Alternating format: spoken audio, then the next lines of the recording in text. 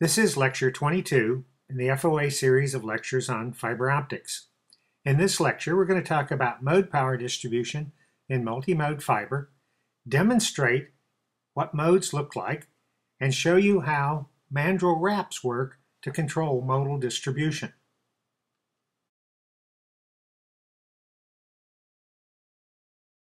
Single mode fiber, of course, has only one mode, which goes straight down the core of the fiber.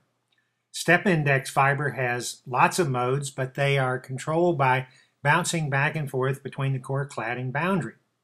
It's graded index multimode fiber that we're interested in because the index profile of the core guides the modes through the fiber and um, makes each mode slightly different in the path length that it covers through the length of the fiber.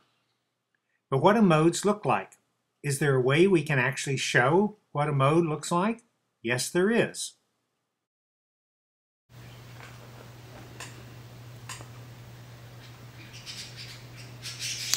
This is what happens when we put a visual fault locator in a multi-mode fiber.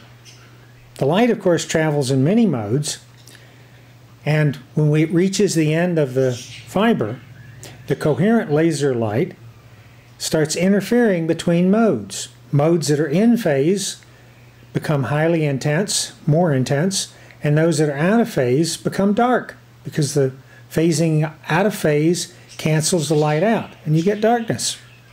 So here's what all the modes in a multi-mode fiber look like. And you can see there are hundreds of them.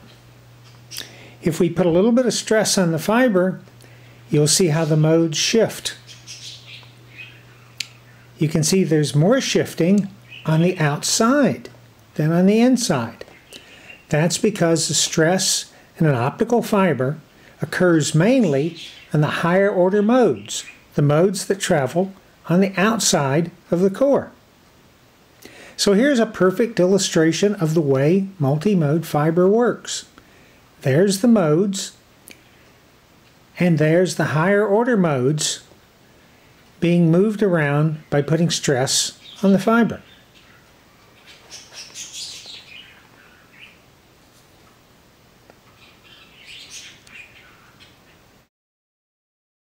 The modes carried in a graded index multi-mode fiber are dependent on the type of source that you use. For example, if you use a broad beam LED, you may put light in most of the modes in the core. But if you use a narrow, restricted launch, like a laser, even something as straightforward as a VCSEL, which is becoming more common now in fiber optics, you don't launch much light into the higher order modes. It's somewhere in between these two conditions that we try to set test conditions so that when we test a cable plant, we actually come to a compromise but have a standardized way of doing the test so that when different people make measurements, their measurements can be comparable.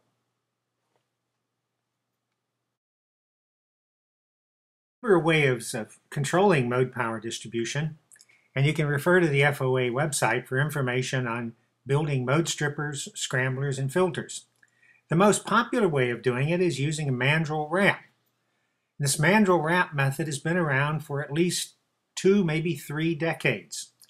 A mandrel wrap acts as both a mode scrambler and filter, and it controls the modes by subtracting the modes in the outer layers of the core.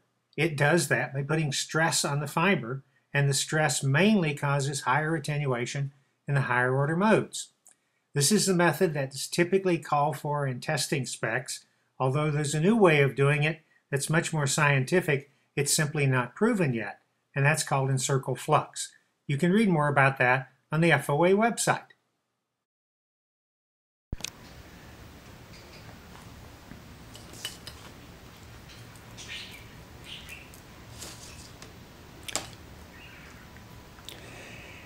Now let's try an experiment.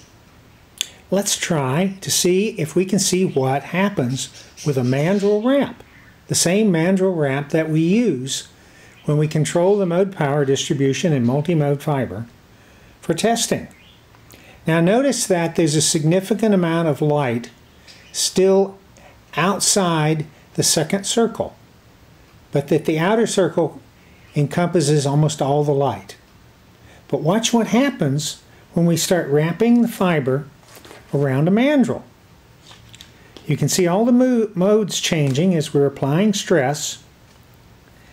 But let's put the mandrel wrap in to this length of fiber and we'll see what happens.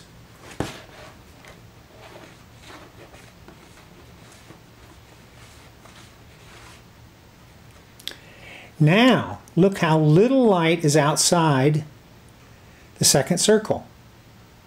We've reduced the light in the higher order modes considerably. And that's exactly what the mandrel wrap is supposed to do. It's supposed to filter out higher order modes. If we take the wrap out,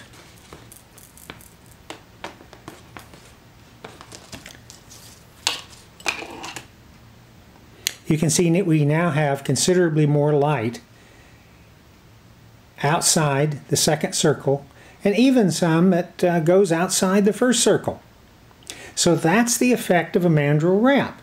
We're actually removing the higher order modes.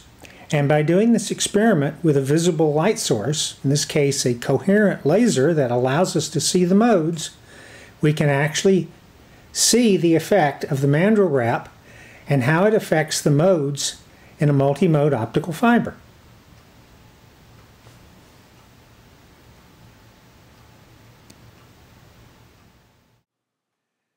So you can see the effect better, we'll look at alternating still photos of the mode pattern out of the end of the fiber without mandrel wrap and then with the mandrel wrap applied. Let's start without the mandrel wrap, which you see here, and now we'll alternate in images between with the mandrel wrap and no mandrel wrap.